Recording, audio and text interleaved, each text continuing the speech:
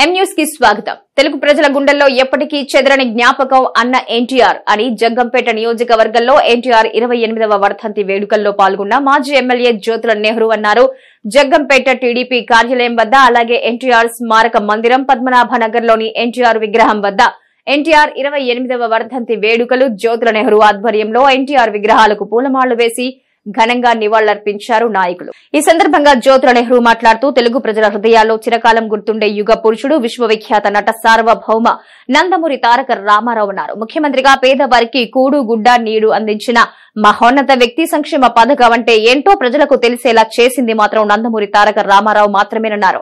ఈ కార్యక్రమంలో ఎస్వీఎస్ అప్పలరాజు మారిశెట్టి భద్రం జీను మణిబాబు కొత్త కొండబాబు పాండ్రంగి రాంబాబు నాయకులు కార్యకర్తలు అభిమానులు పాల్గొన్నారు.